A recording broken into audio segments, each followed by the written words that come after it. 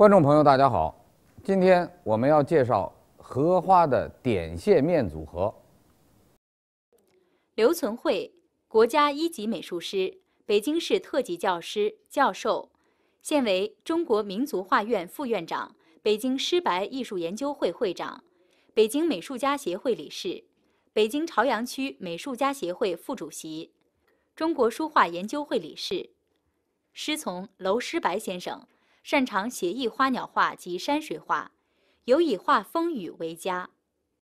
为什么要这么来讲这个点线面？我们拿它作为一个重点来谈呢，主要是因为在结构组合当中有点线面的关系。如果您摆错了，画面当中可能会出现构图上的、虚实上的。以至于笔墨关系上的错误。荷花这么多内容，有叶子，有花儿，有枝干，包括荷茎，有莲蓬。用什么来分配点线面？我觉得我们可以按照结构来分。比如说，莲蓬可以点线结合，花儿可以线面结合，叶子。可以以面和线的组合结合。下面我就先拿一支勾线笔，调一点焦茶，然后我笔尖加一点墨。点线面，注意，先画点可以，先画面可以，线，我个人认为，从我的经验来说。我认为要后画，因为线可以连接点和面。这里边除了连接以外，还有一个互相破的问题。你比如说，我举个例子啊，我现在需要点个点，同样画点的时候，我画莲蓬，我需要给它分开，这三个点可能要变成有疏密了。然后再画的时候又分开，这个时候我可以吸一点水。用笔尖吸一点水，吸水进了以后，我破，我在侧面破刚才那个点，破刚才那个点，让点和点之间互相渲染渗透，形成了现在这个特定效果。然后我用这个点的方式，淡色的，我再补上几个点，然后我又蘸浓墨，注意拿这笔又蘸了一笔浓墨，我又破刚才的那个。淡色的那个点，拿浓墨破。那么现在形成这个状态，现在这个状态应该说是很有变化，韵味也挺好。然后我就开始看一看造型，顺势用这支笔在别处再去点。我再点的时候，我就不能按照这种格式点了，或者说不能按照这种方法点了，我要改变一下。那我可能就哎采取了一些点当中的一些疏密变化，甚至快慢结合，形成现有这个状态。明显的看出这个有破色破墨关系，这个没有。然后这时候这个笔就相对原来干了一点然后我就开始勾，哎，正好是干的，大家看一勾。您这时候如果也是这个状态，应该跟我是一样的。如果顺序跟我合理的话。在这种情况下，这个线就用上了。这时候线和点结合，形成的是一个面的关系。这个面的关系不平，上面有肌理效果。然后我顺顺便把这边也勾出来，画了两个莲蓬。这两个莲蓬大家看得出来，都是有破墨效果。这个是破墨，这个是破墨，这是以淡破浓的，这是以浓破淡的。然后我继续用这支笔勾它的外轮廓，是淡的。我继续用这支笔勾外轮廓，淡的。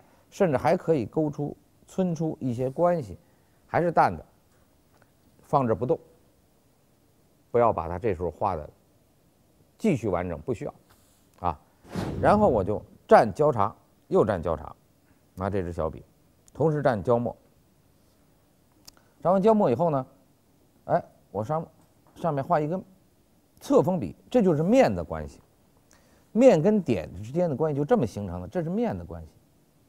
然后我顺便把它的轮廓勾出来，勾这个轮廓的时候，如果笔杆可以转笔，然后吸一点点水，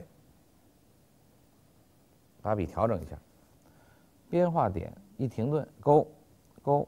你看，我现在这三个莲蓬，大家明显的看到我采取了三个方式进入的，就应该这么做。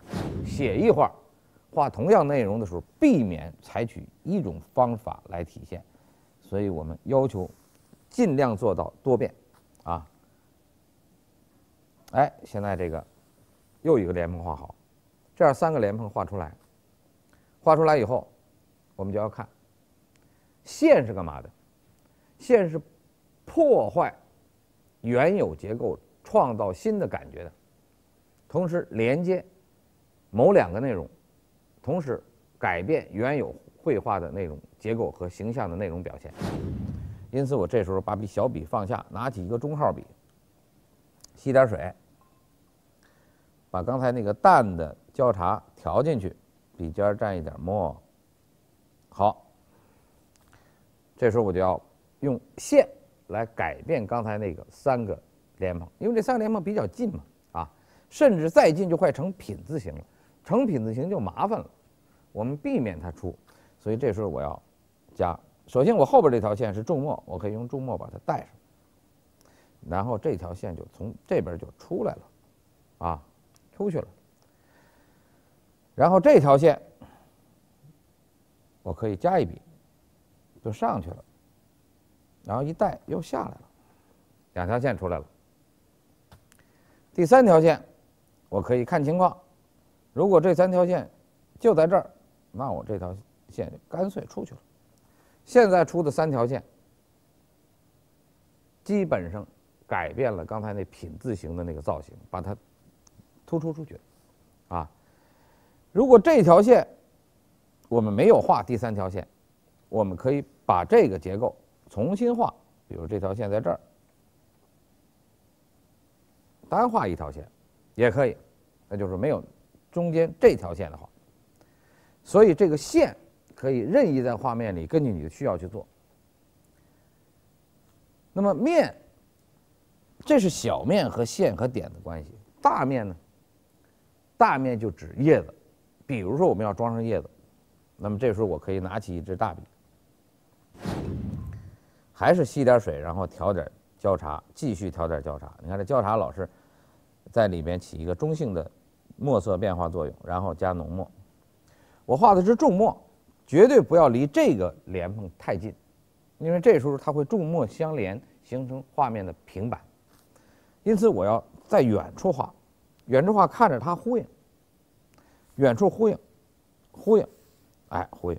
这面可以把线重新的破坏和调整，然后吸水，笔腹吸水，然后上边出现一点淡墨，因为刚才是重墨，到这儿就淡了，淡墨上去，啊，上去以后又吸水，然后把淡墨连到这儿，是淡墨也好，淡色也好，都可以。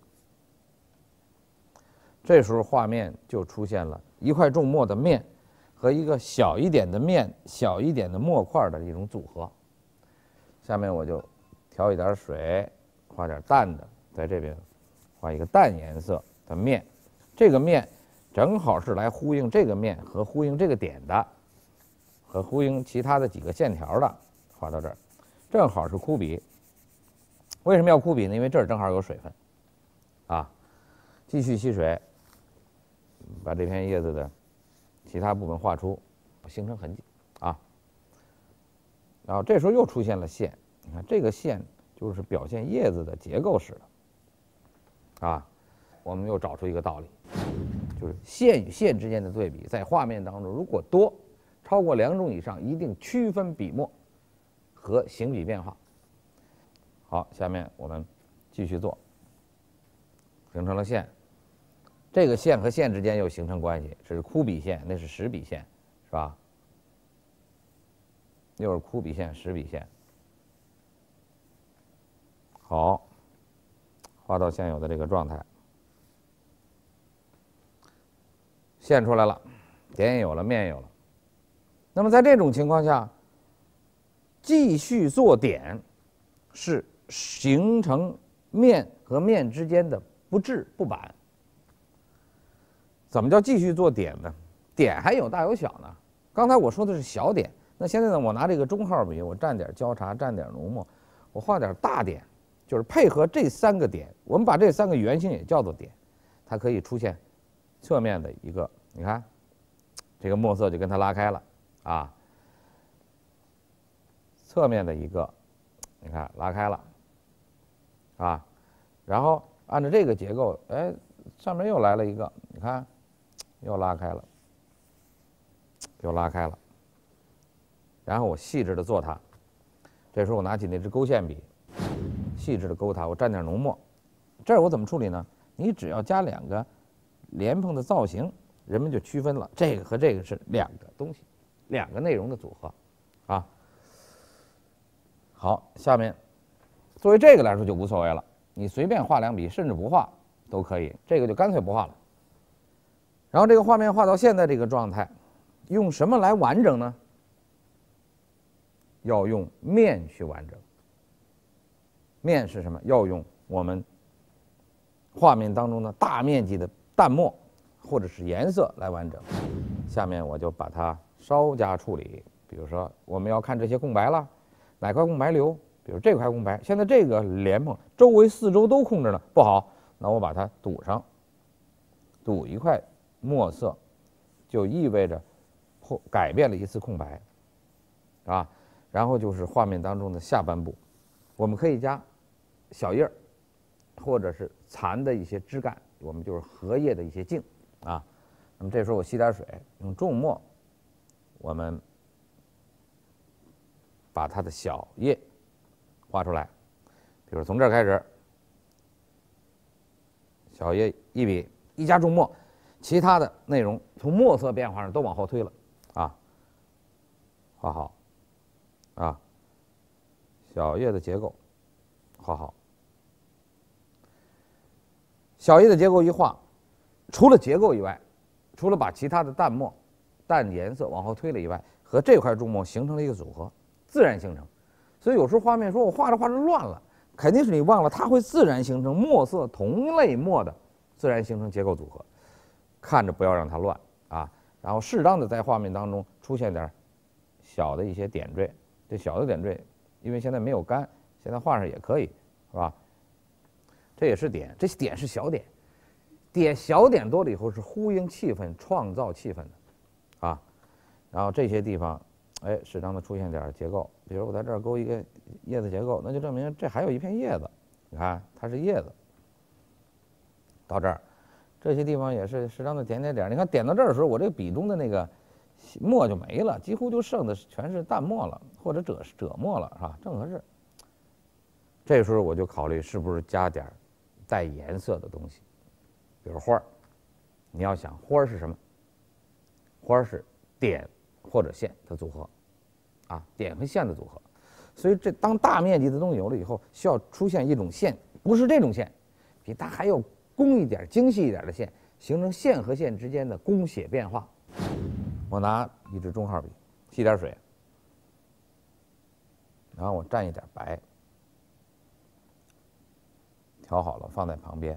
这个笔刚吸完水以后啊，有时候这水没有直接把笔润好，所以需要你在旁边放一放。这时候我的笔尖蘸了一点玫瑰红，啊，放在旁边。啊，这个颜色比较粉，粉红，然后我觉得稍微粉了一点，我就笔尖蘸了点胭脂，啊，补了一下笔，然后觉得胭脂蘸完了以后不太起作用，我又蘸了点焦茶，注意，我又补了一下笔，哎，这个颜色好像好一点，因为这个交叉颜色有，它和其他地方的交叉颜色不会出现问题，就是有点统一，起码和谐是吧？然后我把它画了。画了，注意这个行笔啊，行笔。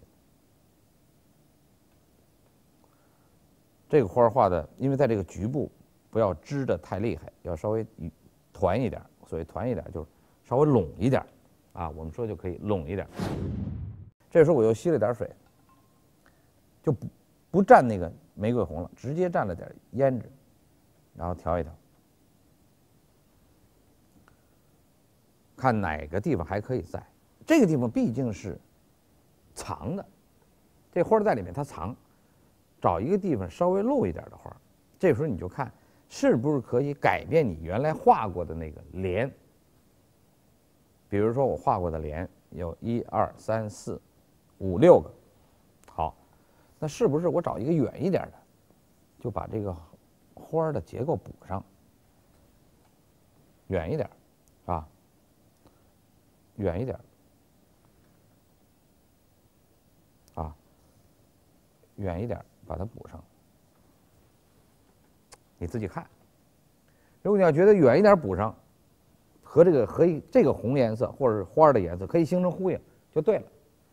不要在这里边找，这里边找太近，啊，这样画面就比较舒服。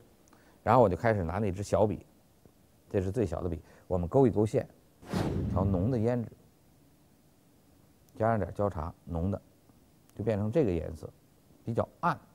暗红色，啊，然后我开始勾。那个先不管它，我先看这个。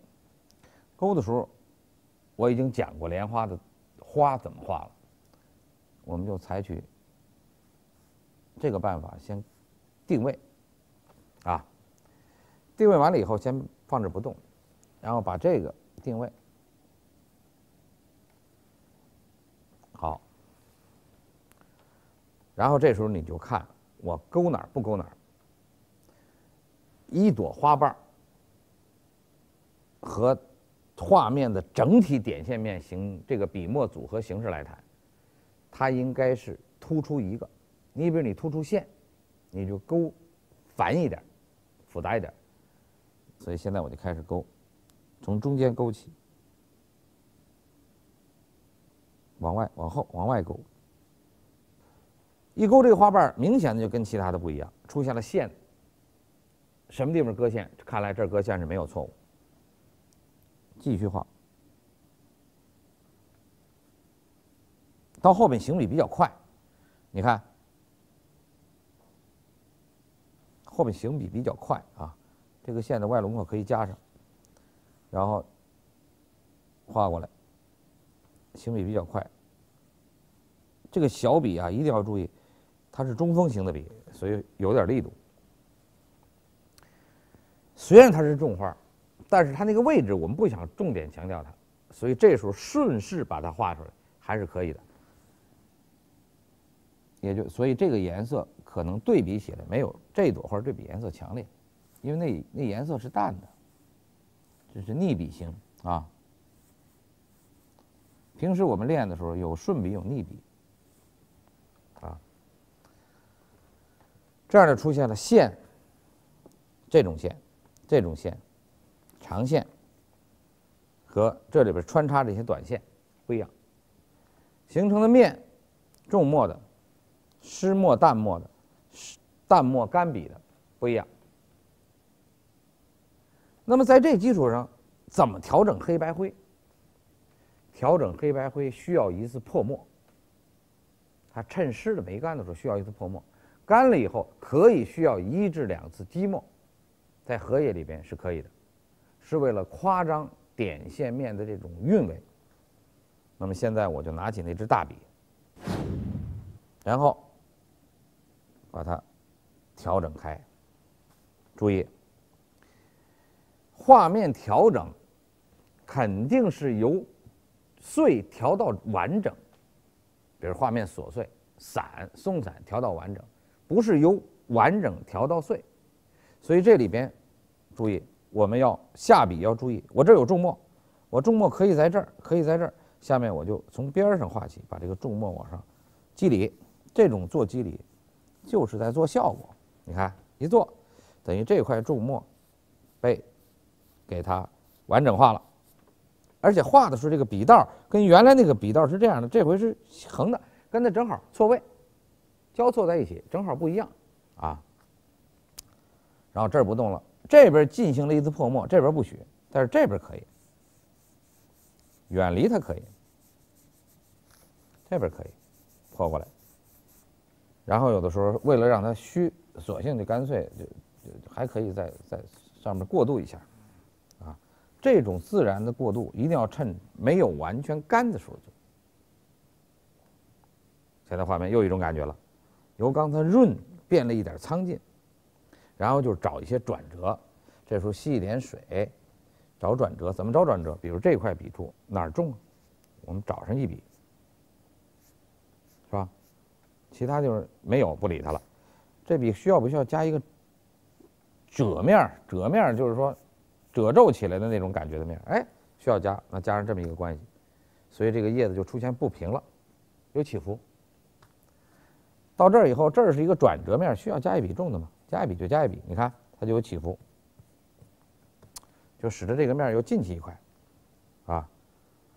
然后这边呢，感觉说我这个杆原来在这儿，我现在看不见了，我想改个杆怎么改呢？我想让这个杆从这儿出，从这儿出也行，加一个杆它重新又马上就和它连起来，就变位置了，任意变，你看马上就变位置了，啊。然后顺便可以再加一个补一个，变成重叠在一起，显得丰富嘛，啊，然后把这笔放一边觉得这个味道差不多，然后需要破一些小空白，就拿起那个中号的那支笔，我们调点暖颜色的变化，比如说这个调了一点黄加焦茶，黄再加焦茶比刚才还要暖，比如我补一下这空白，我把这花拖一下。把这花拖一下，拖一下这个花很容易使画面层次加厚。拖一下，这边也迈过来，拖一点，拖一点，拖一点，啊，这地方也是要拖一点，但是要调淡一点拖，拖一点，迈过来，拖一点，它就显得舒服。然后有的画家在这个时候就为了使它变化更多，有的时候就拿这个淡墨在上头有意识加点这个不定位的这个点儿。你看，加点这个不定位，你说它是什么？说它是浮萍和水中的其他的一些水中的一些杂草斑点都可以，就为了造气氛，显得热闹，并且不乱，啊。在这种情况下，我们就发现点线面组合，哎，有一定的规律，我们就开始体验了一次，我们就觉得这个不能够轻易的来随便的安排点线面的关系，要动脑筋。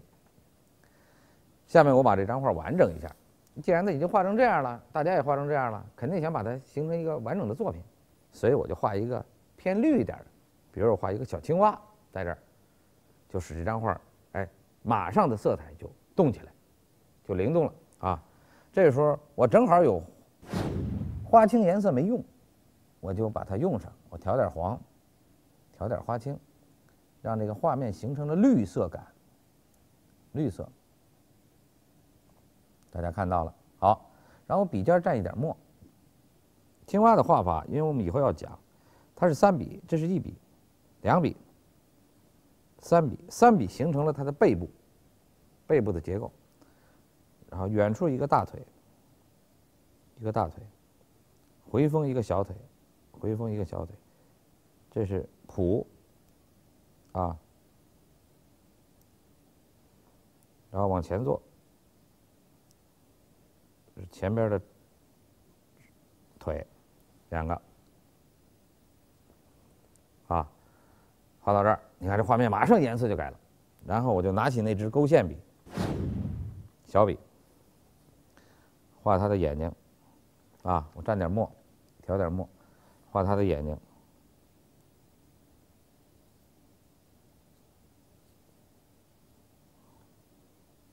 把他的胸部画出来，啊，好，画一只小青蛙，青蛙画完了。你就发现，这个画面当中的色彩，由原来偏平一点的这种暖色调，一下变了一个变化，人们的视线从色彩上就被青蛙给抓走了。但是黑白灰组合上还是有画面叶子的轮廓，点线面组合关系上还是有现在的这种非常丰富的变化，就很好。然后最后呢，就是拿小笔蘸点浓墨，我们点一点。我们需要调整的、强化一点的东西，比如说花蕊啊，啊，这都没有点呢，是吧？比如这个的花蕊啊，是吧？比如这个的花蕊，这个莲蓬当中那个蕊啊，点几下，啊，画面就齐了。这就是点线面组合的规律。下面我们为这张作品提上款儿，提一个池塘深处，提好了款儿了，画面完整了。下面就是盖章，然后拿到下边，在这个位置盖个压角，正好这位置是空的。好，这张画画好了。那么讲点线面，我们也把它涉及到了，并且大家也体验了。原来没想过这个问题，没想过还有点线面要谈吗？今天老师一讲，大家明白了，要研究，要认真的琢磨，并且把点线面作为您表现，除了荷花以外，任何表现内容当中一个重点要思考的环节。希望大家课下练习当中抓住这个重点，把这个知识自己掌握一下。好，今天就讲到这里，谢谢大家。